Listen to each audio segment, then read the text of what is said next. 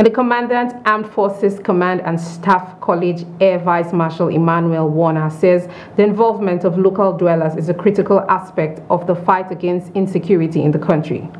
Air Vice Marshal Warner made this known to newsmen at the final phase of the field training exercise Ubiak Isin for students of Junior Course 95 of the Armed Forces Command and Staff College in Kaduna. While the armed forces are all about operations, local dwellers also form a basic part of the successes achieved by the military through information dissemination, hence the need for the distribution of palliative and medical outreach by the college to their neighboring communities.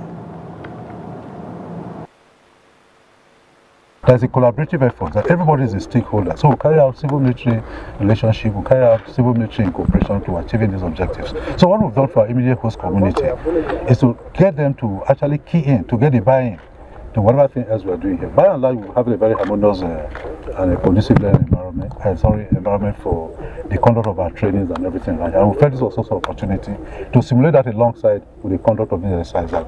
We carry out uh, some relief materials there in the field, call it actually out get towards winning hearts and minds. And I must acknowledge that training aside, that the environment within this cantonment and its uh, surrounding environment had been threatened. Uh, it's not as safe, as peaceful as it used to be in past years.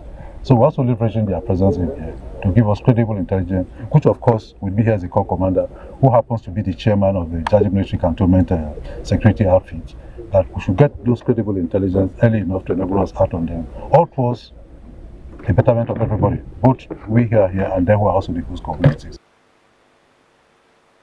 The host community that benefited from the medical outreach and palliative include Hosonu, Anguan Lage and the general Igabi local government area of Kaduna State.